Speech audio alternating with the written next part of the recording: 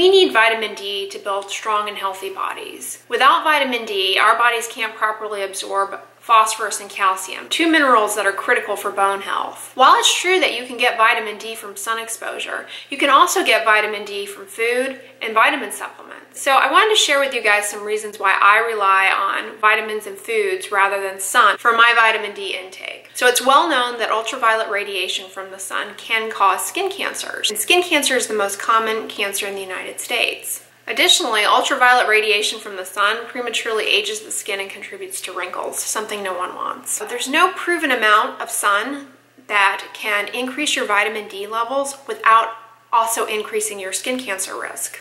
Now, dietary vitamin D doesn't age us. It doesn't contribute to skin cancer that we know of. Additionally, we can eat all year round, whereas depending on where you live, you may have very minimal sun exposure in the winter months. So dietary vitamin D offers the same benefits as vitamin D from the sun. Now vitamin D can't be used by the body unless it's processed by our liver and kidneys. Regardless of if we get our vitamin D from the sun or our diet, it makes no difference. Now vitamin D cannot be used by the body until it's processed by our liver and kidneys.